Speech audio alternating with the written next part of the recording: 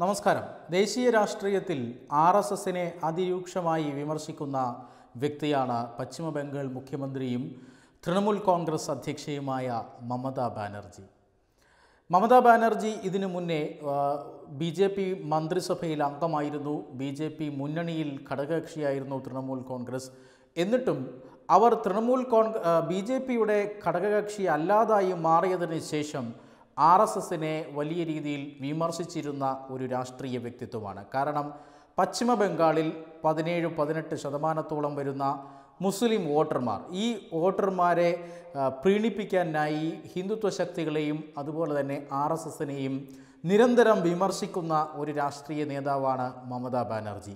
ദീർഘകാലം കമ്മ്യൂണിസ്റ്റ് സർക്കാർ ഭരിച്ചിരുന്ന പശ്ചിമ ബംഗാളിൽ അവർ അധികാരം പിടിച്ചത് ചില മത തീവ്രവാദ സംഘടനകളുടെ പിന്തുണയോടെയാണ് എന്ന് രാഷ്ട്രീയ വിദഗ്ധർ വിലയിരുത്തുന്നുണ്ട്.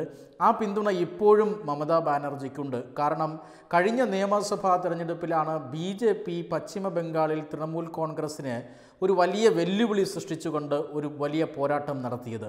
കഴിഞ്ഞ നിയമസഭാ തെരഞ്ഞെടുപ്പിൽ മമതാ ബാനർജിക്ക് തുടർഭരണം ലഭിക്കുമോ അധികാരത്തിൽ നിന്ന് തെറിക്കുമോ എന്നുവരെ രാഷ്ട്രീയമായ അഭിപ്രായങ്ങളുണ്ടായിരുന്നു പക്ഷേ അവർ തുടർഭരണം നിലനിർത്തി. ഇതിന്റെ പ്രധാനപ്പെട്ട കാരണം മുസ്ലിം വോട്ട് ബാങ്ക് ആണ് എന്ന് രാഷ്ട്രീയ വിദഗ്ധർ വിലയിരുത്തുന്നുണ്ട്. അവരെ പ്രീണിപ്പിക്കാനായി അങ്ങേയറ്റം ആർ എസ് എസ് വിരുദ്ധ നിലപാടാണ് തന്റേത് എന്ന് പ്രകടമാക്കാൻ കഴിയുന്ന വേദികളിലെല്ലാം അവർ പ്രകടമാക്കുകയും ചെയ്തു. കേന്ദ്ര സർക്കാരിനെതിരെ വലിയ രീതിയിൽ വിമർശനങ്ങൾ ഉയർത്തിവിട്ടു. മാത്രമല്ല പശ്ചിമ ബംഗാളിൽ ബി ജെ പിക്കെതിരെ അല്ലെങ്കിൽ B J P R S S പ്രവർത്തകർക്കെതിരെ ശാരീരികമായി വലിയ അക്രമമാണ് മമതാ ബാനർജി തിരഞ്ഞെടുപ്പ് വിജയത്തിന് ശേഷം തൃണമൂൽ കോൺഗ്രസ് പ്രവർത്തകരും നടത്തിയിട്ടുള്ളത് എന്ന് നമുക്കറിയാം.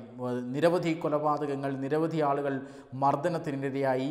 ഇങ്ങനെ ഒരു രാഷ്ട്രീയ മത്സരം കാഴ്ചവെച്ചതിന്റെ പേരിൽ B J P R S S പ്രവർത്തകർക്കെതിരെ വലിയ രീതിയിലുള്ള അക്രമം തൃണമൂൽ കോൺഗ്രസ് പ്രവർത്തകർ പശ്ചിമ ബംഗാളിൽ അഴിച്ചുവിട്ടിരുന്നു. അതിനും ശേഷം ഇപ്പോൾ ഇൻ എൻഫോഴ്സ്മെന്റ് ഡയറക്ടറേറ്റിന്റെയും സി ബി ഐയുടെയും കരങ്ങൾ മമതാ ബാനർജിയുടെയും ഏറ്റവും അടുത്ത മന്ത്രിമാരിലേക്കും നീളുന്നുണ്ട് അന്വേഷണം.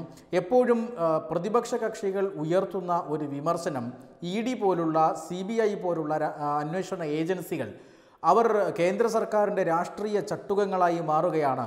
പ്രതിപക്ഷം അല്ലെങ്കിൽ രാഷ്ട്രീയമായി മറുഭാഗത്ത് നിൽക്കുന്നവരെ കേന്ദ്ര അന്വേഷണ ഏജൻസികളെ ഉപയോഗിച്ചുകൊണ്ട് വരുതിക്ക് നിർത്താൻ ശ്രമിക്കുന്നു എന്നൊരു ആക്ഷേപം പൊതുവെ കോൺഗ്രസും കമ്മ്യൂണിസ്റ്റുകളും തൃണമൂൽ കോൺഗ്രസ് ഉൾപ്പെടെയുള്ള കക്ഷികളും ഉയർത്തുന്നുണ്ട്. പക്ഷേ അത് സത്യമല്ല അത് വസ്തുതാ വിരുദ്ധമാണ് എന്ന് തെളിയിക്കുന്നതായിരുന്നു പശ്ചിമ ബംഗാളിലെ ഈ ഇടയായി നടന്ന സംഭവ വികാസങ്ങൾ. കാരണം മമതാ ബാനർജിയുടെ ഏറ്റവും അടുത്ത ഒരു മന്ത്രിയെ ലക്ഷക്കണക്കിന് കോടിക്കണക്കിന് രൂപയുടെ നോട്ടുകെട്ടുകളുമായാണ് കള്ളപ്പണവുമായാണ് ഇ ഡി അറസ്റ്റ് ചെയ്തിരിക്കുന്നത്. അതുകൊണ്ട് തന്നെ ഇത്തരം ഏജൻസികൾ കേന്ദ്ര സർക്കാരിന്റെ ചട്ടുകമാണ് എന്ന് പറയാൻ മമതാ ബാനർജിക്ക് സാധിച്ചില്ല.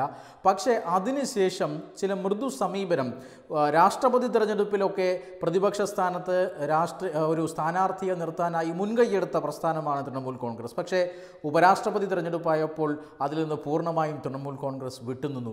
മൃദുവായി ബി ജെ പിയോട് താൻ അടുക്കുകയാണ് എന്ന രീതിയിലുള്ള അഭിപ്രായ പ്രകടനങ്ങളും ഈയിടെ നടത്തുന്നുണ്ട്. അതായത് ഈ കഴിഞ്ഞ ദിവസം മമതാ ബാനർജി പറഞ്ഞത് ആർ എസ് എസിലെ എല്ലാവരും അത്ര എല്ലാവരും ചീത്ത ആൾക്കാരല്ല അതിൽ നല്ല ആൾക്കാരുണ്ട്.